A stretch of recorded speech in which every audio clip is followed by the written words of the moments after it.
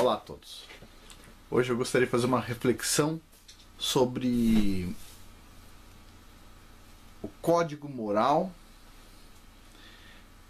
dos cientistas, ok?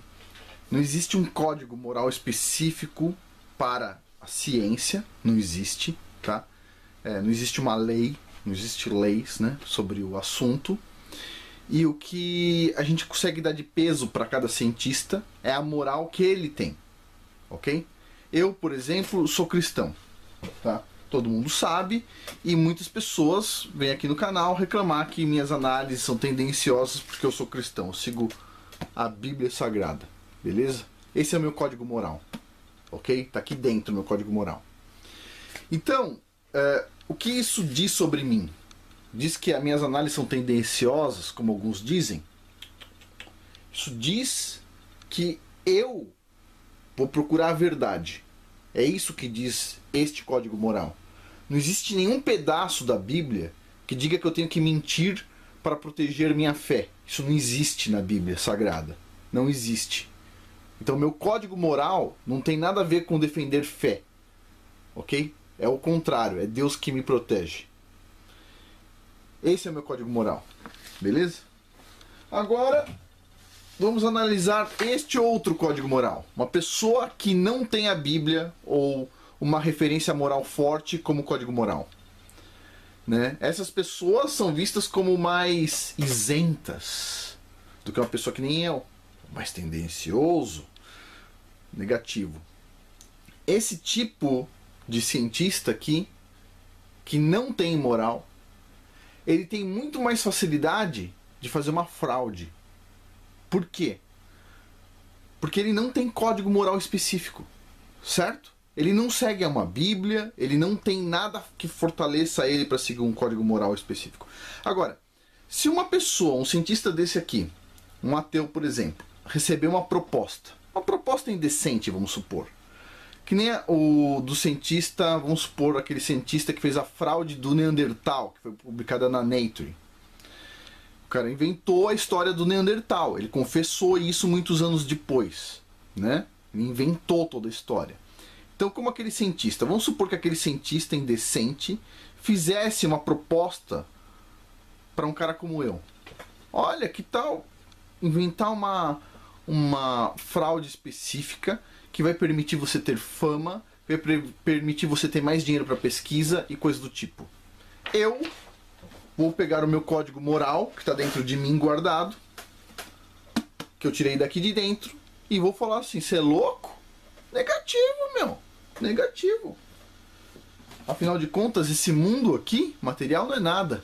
Tem o próximo mundo ainda, não é verdade? Agora, uma pessoa que não tem esse próximo mundo, que não acredita nisso. Ele recebe a mesma proposta. A pessoa recebe uma proposta de fazer uma fraude, uma fraude científica.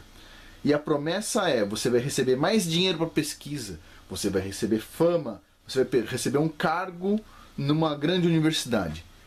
A pessoa pensa: bom, olha lá, não vai ter o, o, o, Depois que morreu já era. Qual que é o melhor momento para um cara desses? É o momento atual. Quem garante que o cara não vai pensar: olha, eu vou aceitar isso dessa vez, mas da próxima vez eu vou fazer uma pesquisa mais séria? Quem garante que ele tem compromisso com a verdade? Eu acredito que quem tem compromisso com a verdade é a pessoa que tem um código moral forte. Cadê o código moral aqui? Cadê o código moral nesse negócio aqui? Quem diz que a verdadeira ciência sai daqui? A verdadeira ciência. Eu vou colocar, vou fazer um vídeo ainda sobre cientistas cristãos e a, refer, o, a referência, o número de cientistas cristãos de ponta é gigantesco, gigantesco. Pessoas criacionistas. Como vocês podem ver naquele vídeo da Arca de Noé, inclusive, que eu comentei no vídeo, no vídeo passado. É, o rapaz que está tá organizando as coisas lá é um biólogo com doutorado em genética por Harvard e o cara é criacionista. Deve dar uma dor de cotovelo, né? Para quem é evolucionista, né? Ver um biólogo com doutorado em Harvard em genética, não numa coisa porcaria qualquer, criacionista. Sabe por quê? Porque cientistas de verdade têm que ter código moral. Sem código moral, a ciência não avança porque tem fraudes, ou se ela avança, ela pode avançar na direção errada. Isso aqui, simplesmente, isso aqui é uma religião perigosa, ok? Isso aqui é uma religião perigosa, não funciona. O que funciona é ter um código moral verdadeiro, como a Bíblia Sagrada. Bom, por hoje é isso, só uma reflexão. Para quem diz que cristão não pode fazer ciência ou qualquer coisa do tipo, isso é só uma um blá blá blá qualquer, não é verdade?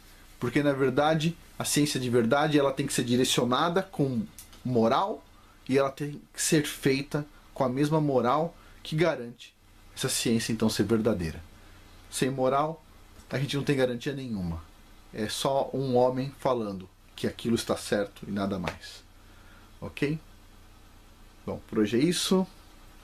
Muito obrigado.